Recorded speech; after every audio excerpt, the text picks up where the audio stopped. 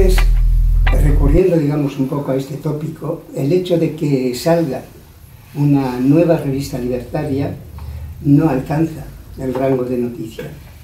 No alcanza el rango de noticia, pero sí lo alcanzaría el hecho, sin embargo, de que no saliese, eh, dejaran de salir revistas de tipo libertario.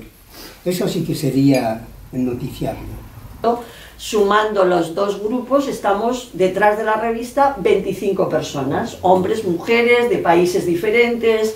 En el grupo de colaboradoras y, colaboradoras hay también alguna persona francesa, dos personas en concreto. Quiero decir, por tanto, es un grupo bastante diverso de edades también. El primer propósito es crear un espacio de reflexión y de debate. Creemos que se necesita eh, mucha reflexión, que se necesita, por supuesto, mucha práctica también, pero como revista, básicamente, mucha reflexión para eh, adaptarnos al siglo XXI. Partimos de una cosa muy simple, y es que las ideas, más que las ideologías, siguen teniendo un valor en el mundo, en un mundo cada vez eh, en el que cada vez cuentan menos las ideas. Eh, se cambian con mucha facilidad, se canjean por prebendas, como bien sabemos, de la política institucional, se hacen líquidas, pierden entidad.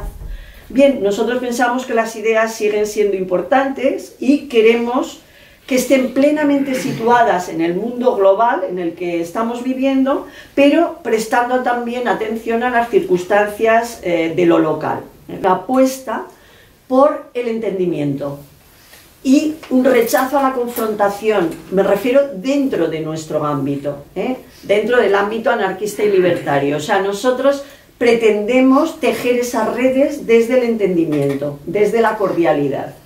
¿Con quién? Pues con todo tipo de colectivos, grupos, sindicatos, eh, prensa, redes eh, perdón, radios libres, etcétera, etcétera.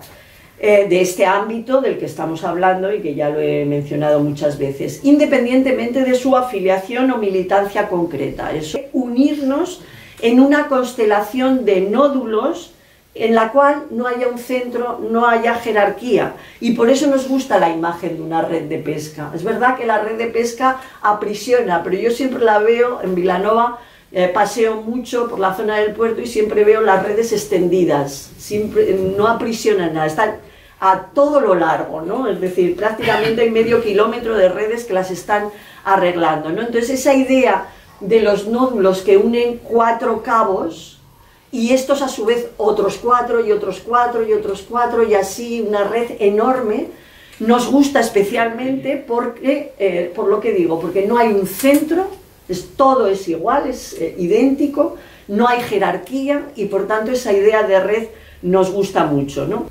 El diseño, las ilustraciones, las secciones, su carácter dinámico, todo estaba perfectamente cuidado, sumamente cuidado.